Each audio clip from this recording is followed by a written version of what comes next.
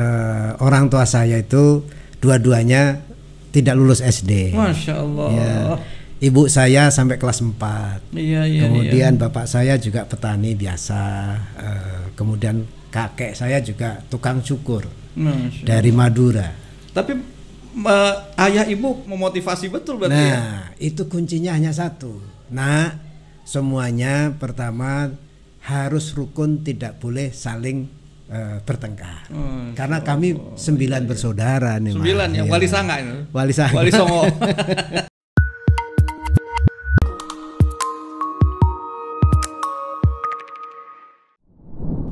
Assalamualaikum warahmatullahi wabarakatuh. Salam sejahtera untuk kita semuanya.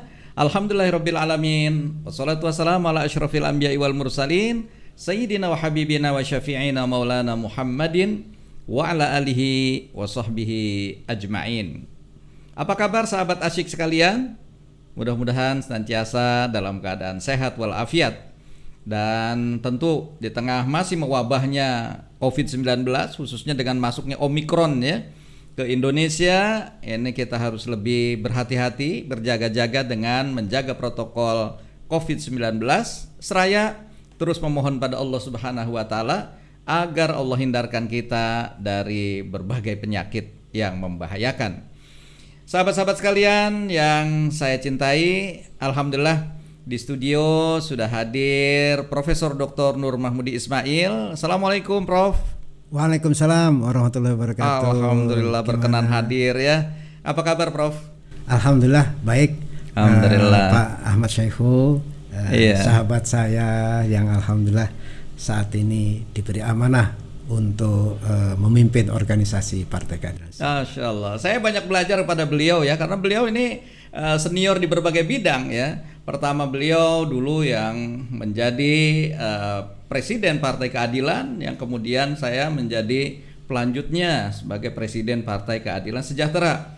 Di bidang pemerintahan tentu beliau yang sedemikian banyak apa namanya eh, sukses berhasil memimpin kota Depok sel- selama dua periode, Pak Prof ya.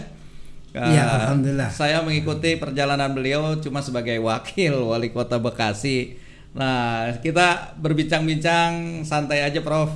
Ya, dalam suasana ini, nah mungkin kalau melihat dari perjalanan Profesor ya, lahir di Kediri, sekolah SD di sana, kemudian sampai Di sekolah IPB Bogor. di IPB sampai bahkan ke luar negeri ke Texas ya. Ya. S2, S3-nya di sana. Luar biasa ini.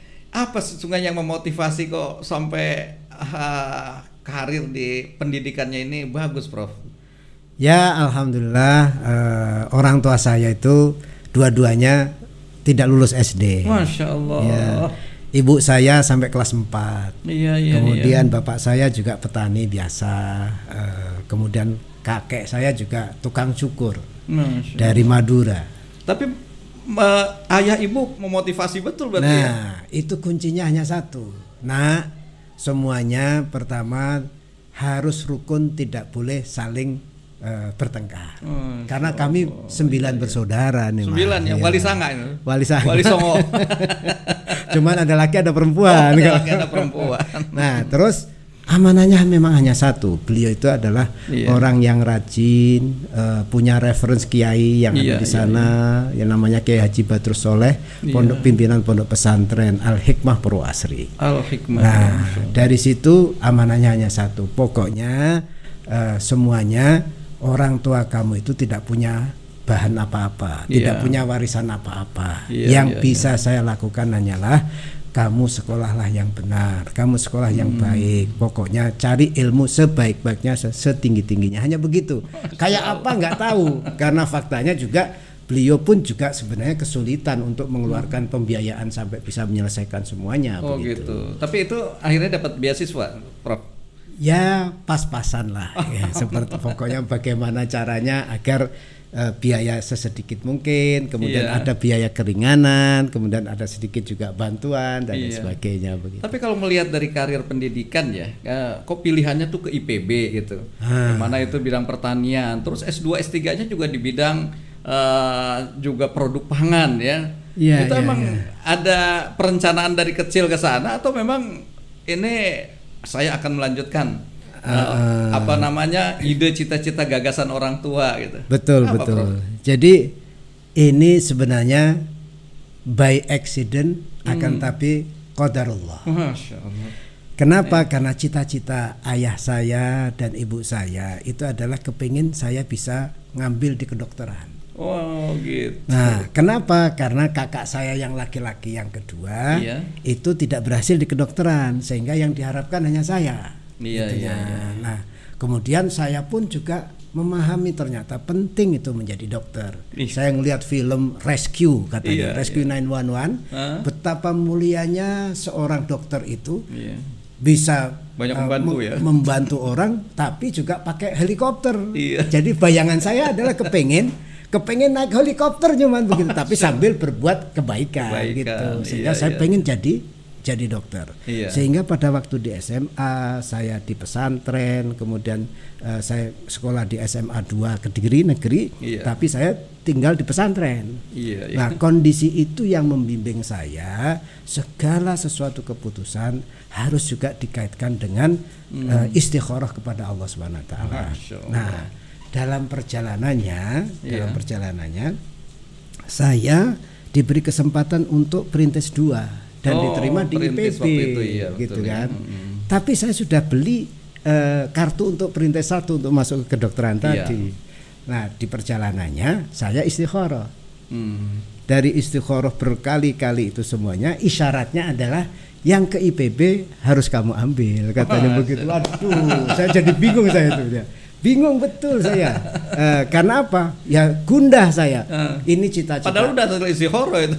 ya istikharah pun masih gundah. Mau namanya orang masih imannya iman pas-pasan aja gitu. Orang SMA kan Iya, ya, iya, gitu kan. Jadi gundah sampai gundah seperti itu saya ngadu ke kakak saya gimana saya harus datang juga datang ke Bogor? Iya. akhirnya daftar ulang dan lain sebagainya.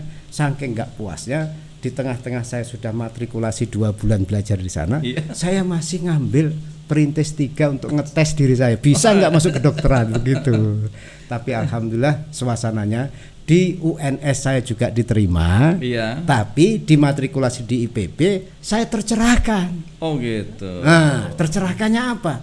Pelajaran di IPB eh, mata pelajarannya juga eh, konsekuen, Iya. kemudian fair, Iya. pelajarannya juga apa yang diajarkan itu yang dipertanyakan, Iya. kemudian tata belajarnya juga cuma empat tahun, Iya. habis itu bisa S2, S3. Impian saya adalah kalau ngambil kedokteran kemungkinan 7 sampai 8 tahun baru dokter. Betul, betul. Nah, kalau di IPB saya bisa 8 tahun bisa jadi dokter gitu kan. jadi bukan dokter tapi Jadi dokter begitu. Jadi men-switchnya ya. Itu kira-kira yang Iya, terjadi. iya, jadi iya. antara antara istikharah tadi Iya. dengan challenge saya yang kepingin mendaftar, tapi faktanya dicerahkan oleh para dosen-dosen yang ada di IPB. Iya, iya. Nah, alhamdulillahnya ya akhirnya seperti inilah. Iya. Nah, beliau ini lengkap saya kira di eksekutif juga pernah eh, dipercaya oleh Gus Dur sebagai Menteri Kehutanan waktu itu ya. Betul. Tahun 1999 sampai 1999, 2001 iya, ya. 2001. Dan kemudian juga pernah menjadi eksekutif di eh, Kota Depok sebagai wali kota ya. Alhamdulillah. Dari tahun berapa tuh 2006? 2006 sampai 2016. 16 ya. Ah Pak Nur eh, sebagai sosok saat memimpin ya baik di kementerian maupun kota Depok lah ya. Eh, apa sih kira-kira yang kan kalau eh, wali kota punya visi-visi besar ya. Nah waktu itu apa tuh visi untuk memimpin kota Depok itu Pak Prof? Ya, saya diberi kesempatan pada waktu itu untuk eh, menyusun bersama RPJP daerah, rencana pembangunan jangka panjang. RPJP ya, iya. Nah, yang masanya 20 tahun. Iya. Kemudian tentunya RPJMD juga harus kita susun. Iya. Oleh karena itu saya pertama kali adalah melibatkan banyak pakar. Iya. Pakar yang ada di UI, Iya, pakar iya. yang ada di Gunadarma, kemudian pakar-pakar yang dari teman-teman PK pada waktu itu Hebatnya PKS. karena apa namanya Depok itu banyak ini ya perguruan tinggi ya, yang universitas. itu yang membuat saya akhirnya eh, bisa cepat tercerahkan Iya, bagaimana iya, iya. membuka dan membaca antara potensi sumber daya alam, potensi Iya, sumber daya manusianya dan lain sebagainya. Yang akhirnya eh, mereka merumuskan RPJP Daerah. daerahnya itu adalah Depok menjadi kota niaga dan jasa yang religius dan berwawasan lingkungan. Hmm. Nah, atas dasar RPJP seperti itulah kemudian kami eh, membuat eh, agar Depok itu menjadi kota yang bisa melayani dan mensejahterakan. Masya Allah, cita-cita mulia banget. Tapi dalam perjalanan juga, alhamdulillah ya banyak prestasi-prestasi yang didapatkan ya. Ya itu semuanya sebenarnya atas berkat dari aneka pakar yang ada di UI, di Gunadarma dan juga eh, teman-teman lain, tapi juga tidak kalah pentingnya adalah respon masyarakat sendiri Iya. eh, serta birokratnya. Gitu ya, kekompakan Nah, intinya kekompakan semua ya, dan ya. maunya mereka mendengarkan apa yang ada di dalam keputusan RPJPD maupun RPJMD iya, iya. tersebut. Sehingga saya mencatat misalnya pernah menjadi kota sehat di tahun 2013 ya. Oh iya iya, Iya. alhamdulillah. Pernah juga katanya menjadi eh, kota cerdas keempat se-Indonesia oleh harian Kompas di tahun 2015. Betul betul. Iya. betul. Ya ini ini bagian dari eh, sebenarnya merespon dari apa yang dicita-citakan dan disarankan oleh Iya. teman-teman dan masyarakat. Karena memang awalnya tahun 2005 Mm-mm. kita dan kami itu mendapatkan mendapatkan data Iya. bahwa penderita gizi buruk sekian Iya, iya. banyak, kemudian pen- penderita buta huruf sekian banyak dan lain sebagainya. Saya akhirnya mengajak berdiskusi sama mereka Hmm. jumlah data gizi buruk, jumlah data buta huruf jangan Iya. dibiarkan. Iya. Saya malah tanya siapa mereka, alamatnya di mana dan Iya. lain sebagainya. Dicari betul ya, Dengan kondisi yang seperti itu, mereka akhirnya terkaget-kaget. Saya saya sampaikan begini, Anda saya jamin Hmm. kalau Anda itu kepala dinas dan menemukan jumlah yang buta huruf nambah, Mm-mm. jumlah yang yang gizi buruk juga nambah, nggak saya pecat. Hmm, kasih jaminan begitu ya. Karena yang saya minta adalah data realnya. Iya, iya, Itunya. iya. Nah, dari Bukan situ sekedar data ABS ya, Ya, asal bu- Bapak senang ya. Bukan data ABS. itu yang saya ajak. Iya. Nah, dengan begitu yuk kita diskusi. Saya bilang gitu. Kita diskusi betul, kita buat rencana benar bagaimana untuk secara step by step menyelesaikan eh, problema mereka. Iya, jadi Pak Nur eh, ini concern betul ya dek- dengan IPM ya, Indeks Pembangunan Manusia itu ya. Karena faktor-faktornya kan tadi kan pendidikan, kesehatan, daya beli luar Kalau biasa. kalau kita perhatikan memang begini, alhamdulillahnya bahwa apa yang menjadi concern masyarakat tadi Iya, tentang kebutuhan kecerdasan mereka, pendidikan, tentang Iya. kebutuhan kesehatan mereka, itu kemudian memang diadopsi oleh UNDP, iya, kemudian diratifikasi oleh pemerintah Indonesia yang kemudian mengamanahkan urusan wajib dan Iya, urusan pilihan yang mereka mereka berikan. Nah, saya hanya bekerja pada fatsun itu. Hmm. Apa yang menjadi kebutuhan masyarakat yang sebenarnya, Iya. apa problema yang ada di masyarakat yang sebenarnya, kemudian apa amanah yang telah diberikan oleh pemerintah Indonesia Iya. pusatnya itu yaitu berupa urusan wajib dan urusan Iya, pilihan iya. tersebut. Jadi ini yang betul-betul ditekuni ya, eh, menjaga dan meningkatkan angka-angka IPM itu ya. Masya Allah. Betul, betul. Jadi jadi kita Hmm. kita memang ajak ternyata kebutuhan peningkatan kesejahteraan mereka melalui Hmm. kegiatan perekonomian mereka, kemudian upaya peningkatan ilmu pengetahuan mereka dengan memperluas fasilitas pendidikan, kesungguhan iya. mereka men- mendidik mereka, kemudian juga masalah kualitas kesehatan, baik mulai Iya. dari promotifnya, Iya. kemudian preventifnya, Iya. sampai kepada kuratifnya. Hmm, Cocok jadi dokter kayaknya dulu. Aduh, ya dokter dokter dokter tadi. dokter dokter. Iya saya jadi teringat tuh Pak Prof ya. Eh, apa namanya saat pesan yang diajarkan oleh Rasulullah ketika kita minum air zam-zam itu kan Ah, ya ya ya. Bagaimana doanya kata yang diajarkan oleh Rasul itu Allahumma inni as'aluka ilman nafi'a Ilman wa nafi'ah rizqan wasi'a Wa rizqan wasi'a. wa syifaan min kulli da' katanya. wa syifaan min kulli Iya, da'. Jadi berarti Hmm. ilman nafi'ah. ilmu yang berarti bermanfaat pintar. ya. pintar Oke, ya itu memang benar. Iya. Memang indikator di IPM itu ilmu pengetahuan. Ilmu tadi. pengetahuan. Kemudian Ya, yang kedua wasi'ah. rizqan wasi'ah. Itu adalah yang kaitannya Biar dengan bisa kaya, masalah ya. kaya, masalah kecukupan kelayakan Iya. hidupnya.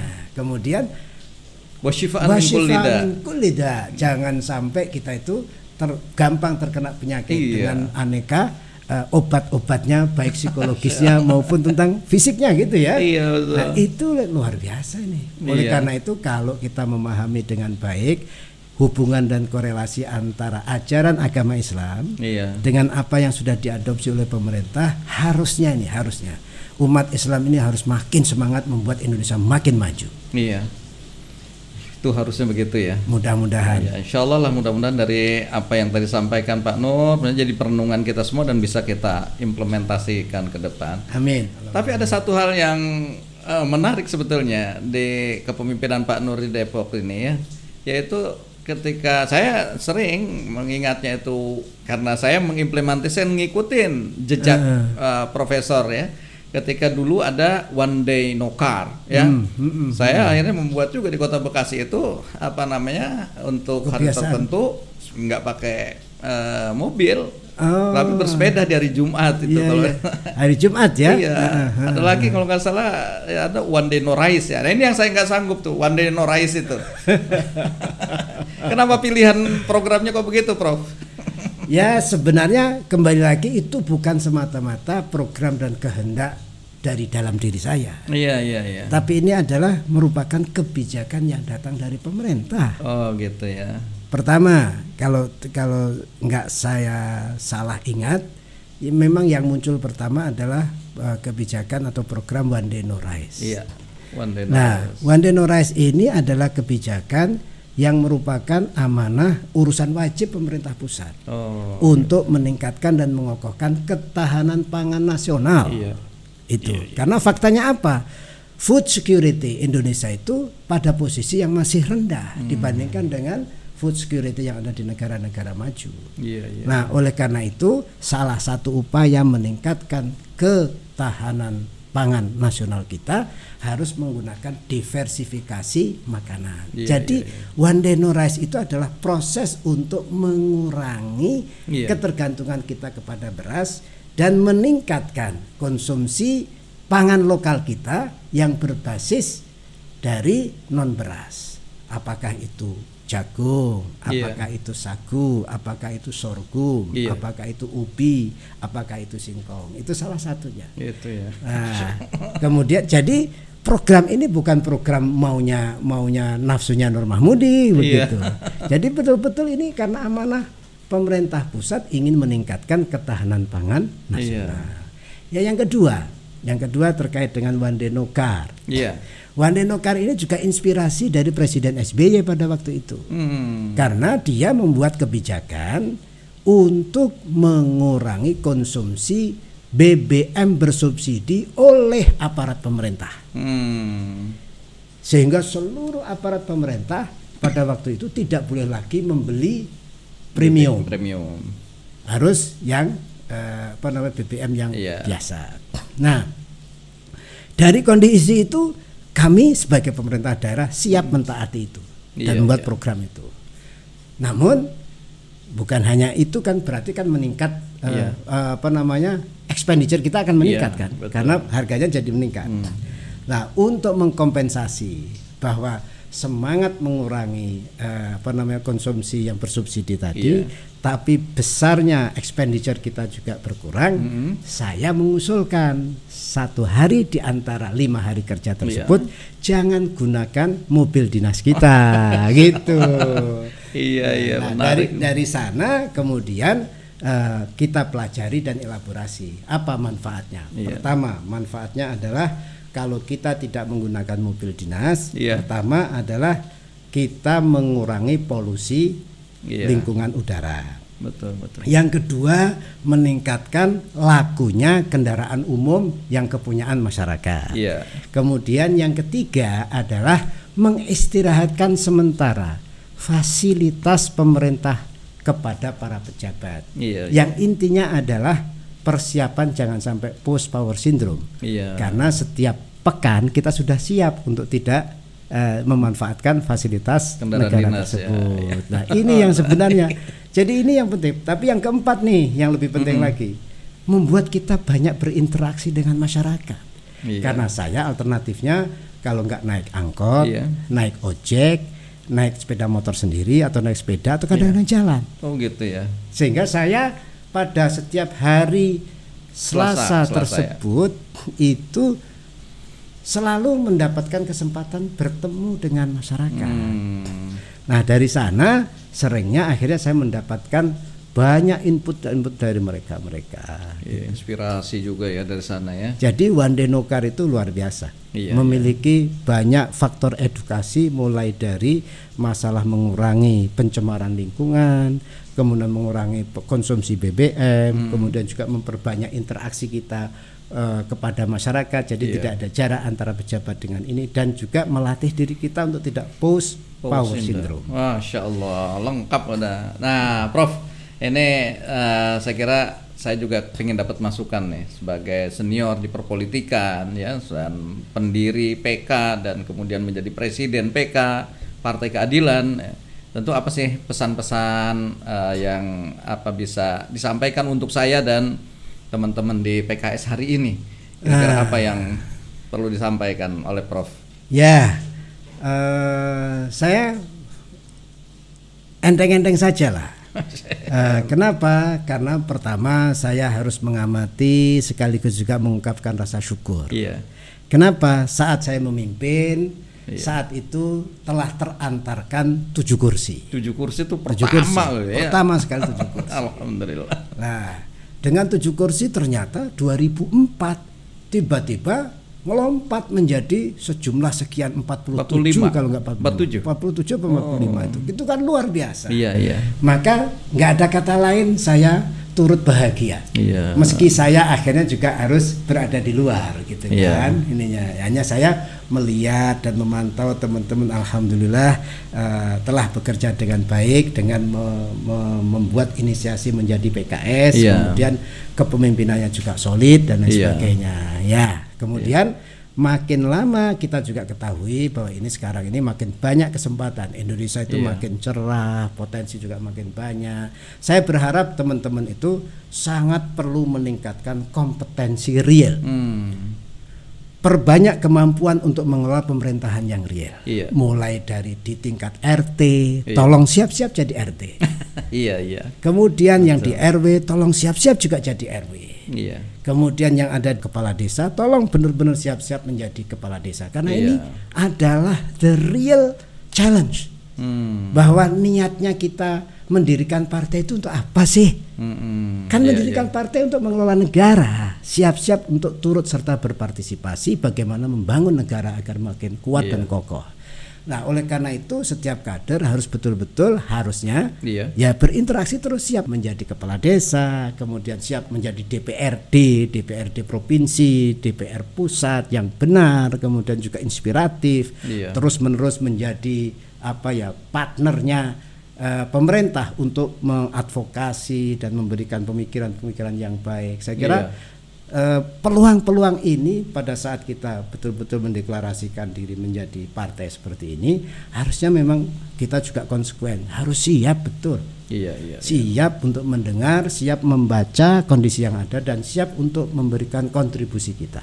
Iya. Mudah-mudahan eh, saya saya yakin di bawah kepemimpinan Pak Saihu yang sangat merakyat, Ah, Allah. Amin amin. sangat ramah, amin. sangat agamis, tapi pada waktu yang sama juga progresif dengan aneka kerja-kerja nyata. Iya. Saya perhatikan Pak Saihu juga menyapa orang-orang para petani, Iya. kemudian menyapa juga para UMKM, kemudian juga menyapa dari sisi para budaya-budaya di seni Iya. dan lain sebagainya. Kami berharap eh, variasi pendekatan real yang seperti ini yang perlu dilakukan oleh teman-teman supaya makin banyak masyarakat yang makin mengenal dan mengetahui seperti apa sebenarnya niat dan tekad dari teman-teman di PKS ini. Iya. Alhamdulillah. Jazakumullah khairan Pak Prof yang sudah memberikan nasihat dan juga uh, ya kilas balik perjalanan saat kecil sampai kemudian juga sukses story di uh, memimpin Kota Depok sampai dua periode.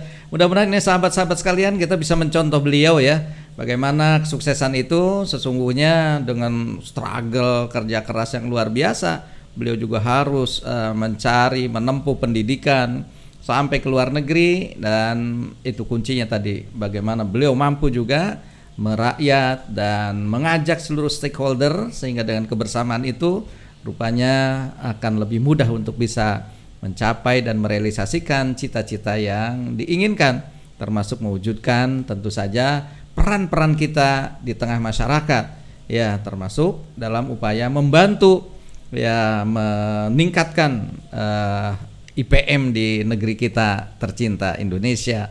Ya, saya kira itu Pak Prof. Makasih banyak nih atas segala pencerahannya. Dan Terkait dengan IPM tadi, oh iya, uh, ya perlu yang kita ingatkan adalah karena Pak Saihu sekarang adalah memimpin di tingkat presiden partainya, iya. maka yang perlu dipikirkan adalah bagaimana agar IPM Indonesia, iya, yang Indonesia saat ini ini pada ranking yang ke-107. PR Sehingga besar ya. ini menjadi PR besar di dalam upaya meningkatkan pendidikan iya, kita, iya, iya. meningkatkan kualitas pelayanan kesehatan kita, iya. kemudian juga perekonomian kita. Iya. Bangkitkan betul-betul yang mudah-mudahan iya. spirit ini kepedulian kita terhadap IPM Indonesia pun juga sama. Amin. Insya Allah nanti kita bersama-sama dengan seluruh stakeholder di negeri kita mudah-mudahan kita akan bisa perbaiki ya indeks pembangunan manusia atau Human Development Index. Semangat terus dan mudah-mudahan sukses untuk kita semuanya. Ya, wallahul muwaffiq ila aqwamit thoriq. Assalamualaikum warahmatullahi wabarakatuh. Waalaikumsalam warahmatullahi wabarakatuh.